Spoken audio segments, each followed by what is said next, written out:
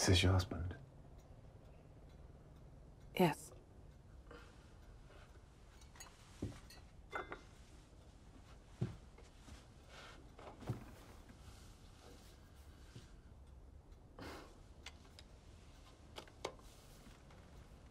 When he died, I didn't cry. Couldn't. I couldn't feel anything. I was numb. And then the war was over and the Allies came and I just continued.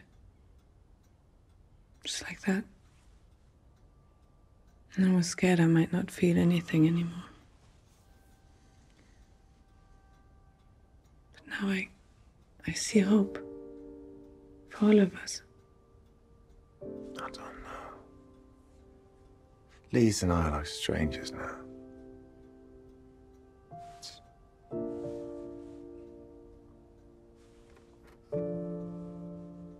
You're tired.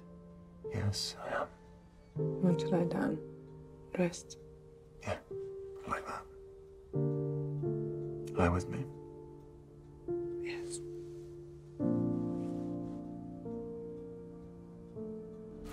The Last Vermeer, rated R, starts Friday only in theaters.